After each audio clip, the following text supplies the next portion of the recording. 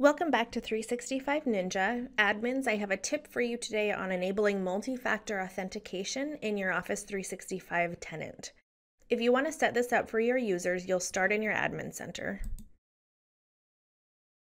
In the left-hand pane, go to Users and select Active Users.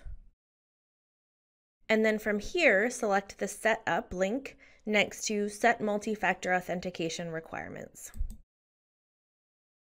So notice that they have this message before you begin, take a look at the multi-factor authentication deployment guide.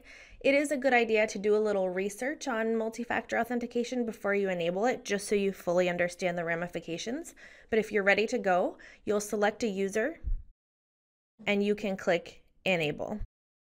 And again, we get this suggestion to read the deployment guide. If I'm ready to enable, I click enable wait a moment for the operation to complete and we've we're successful.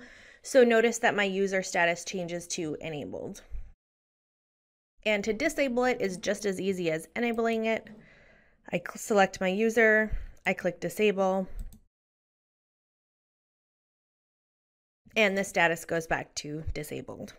So if you want to do this for all your users, you can do this in bulk Click the checkbox at the top of the list and click Enable, and all your users will have multi-factor authentication enabled. So it's easy to do it. Um, I'm going to put a post on 365ninja.com that gives you a little bit more information about multi-factor authentication and some places to go to research it. So once you're ready to go, please use this video to guide you. And don't forget to check back here on our YouTube channel or at 365ninja.com for more tips. Thanks.